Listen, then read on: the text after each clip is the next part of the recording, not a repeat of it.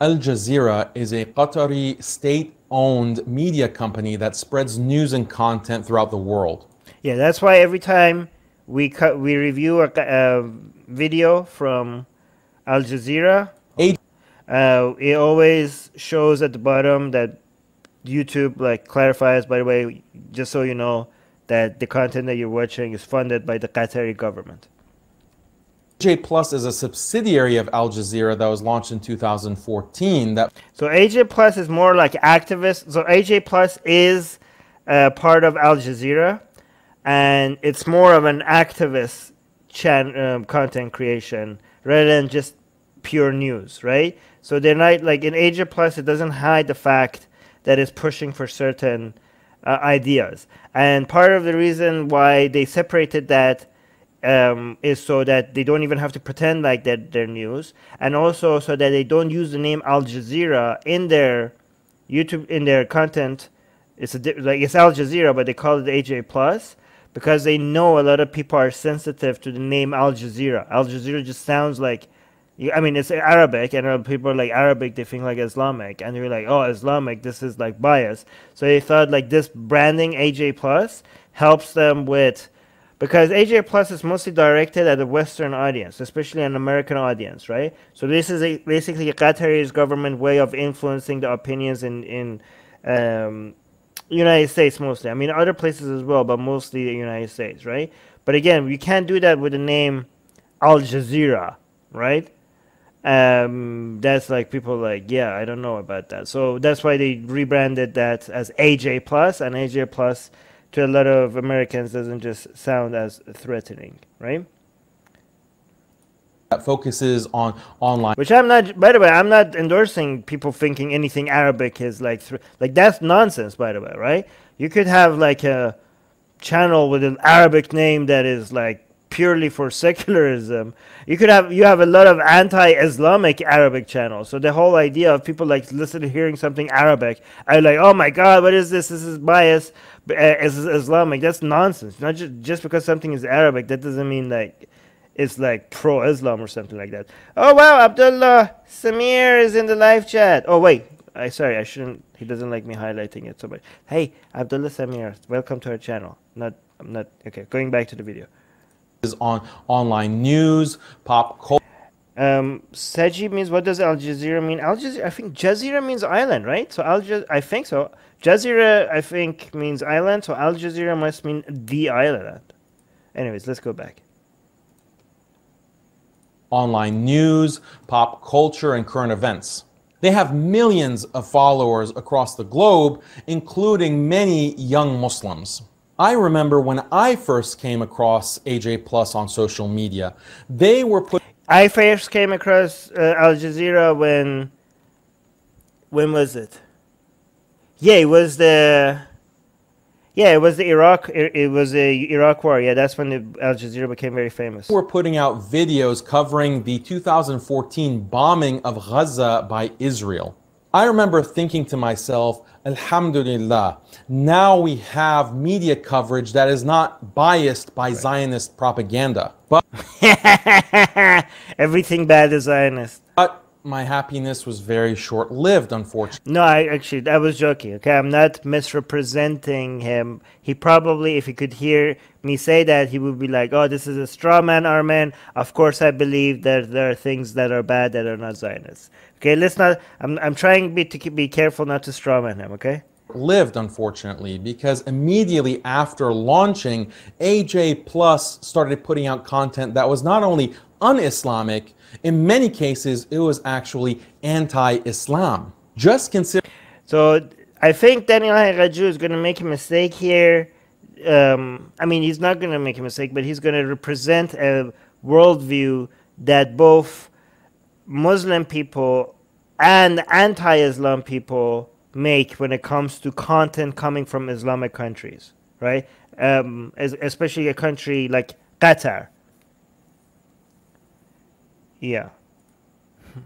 Yeah, I agree with Abdullah Samir's position. Maybe I don't know. Maybe I'll do it. I don't know.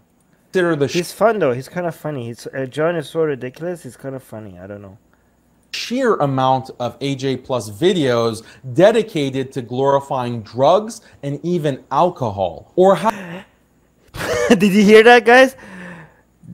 To what? To drugs? Hold on. Listen to this. Look at the phrasing, okay? glorifying drugs and even alcohol. So AJ Plus puts out videos out there that is dedicated to glorifying drugs and even alcohol, even alcohol. Or how about the dozens? yeah, AJ's like, oh my god, not alcohol. of AJ Plus videos dedicated to abortion and terminating pregnancies as a sacred right. But drugs, alcohol, and abortion are only the tip of the iceberg with AJ Plus. So AJ Plus, I, I follow AJ Plus. Yes, they are pro-abortion, pro. Uh, so even though it's funded by Qatar, they're pro-abortion, pro uh, legalizing drugs and alcohol and pro obviously uh, what else are pro for? They're pro gay marriage. They are pro they're very wokey. Very very very very very very wokey. Like more wokey than any um, yeah they're very leftist. Okay so basically aj plus look uh, is like a looked at the united states market and saw there's a gap to fill and they decided to take the side of the Wokis, Wokistani Mujahideen. Um, so they're not spreading AJ Plus is not at all spreading Islam. They are they're spreading far leftist narratives in in, United States. And you might be asking why. Well, because that gives them, you know, they want to be able to have influence. You know, here's a here's a tip. If by the way, if any government leaders are watching right now, here's a tip. Okay if you want to have influence over some other country's policies and stuff, at first you don't really have to worry about what narratives you're pushing and whether the narratives you're pushing matches what you want or not, okay? At first you just have to see whatever the gap is and whatever sells, just grow your influence in that market and worry about and just know that you have an influence. Just know that you have a big audience in that in that in that in that area. And then you worry about what you push for and how that would be in your benefit later. And I think a lot of governments are realizing that, right? A lot of governments like you know, sometimes you watch RT, for example, from Russia, and you're like, okay, well, they're actually providing some good information here. So what's up with that? Because you want to get credibility, you want to grow, and then you worry about, worry about pushing your agenda later. That comes later, right? The first step is to find something that there's a demand for it so that people become subscribed to your YouTube channel and stuff like that. You worry, yeah. So that's why sometimes you're like, wait, wait why is this why would the Qatari's government interest be to go and like fight right wing, like basically it's an anti right wing YouTube channel right now, AJ Plus, right? And like, Qatar's politics, what does that got to do with like, and it's like very, very woke. It's like very cancel culture, full on socialist. AJ Plus is very interesting because they've been funded by some of the some of the most traditionally capitalist people in the world, right? So, a, like Qatari business people that are like extremely capitalistic, right?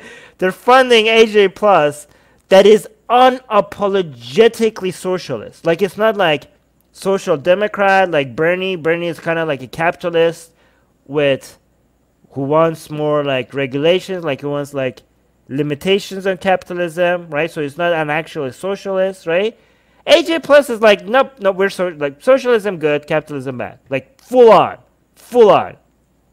Uh, pro BLM, kind of apologetic for Antifa, and you know like okay it does why would qatari government why would the these business people these oligarchs in qatar all this fun stuff like this right? Because they're smart. They're smart. They look at the market. They like how can we like they're, they're thinking about politics and influence and being able to have like proxies and you know you know they, they want to have different players in different areas that they could move. If they because they because if people know that you have an influence here now they have to play games with you. If they know that you have outlets in their country and this country that you could simply you know push certain narratives now all of a sudden you become a more important player that they have to take into account. If it's like uh, like Qatar now has a major influence on people's opinions in the United States and they could influence the election through AJ Plus, right? They can do that, and it's completely legal, right? So they know like Al Jazeera has that, right? That's why Turkey makes TRT. Uh, that's why Russia has RT. That's why Iran has Press TV. That's why United States has radio like Freedom. What? What is that called? Freedom something. Freedom Radio something like that, or Voice of America. Um, yeah, that's why they, they invest in these things, right?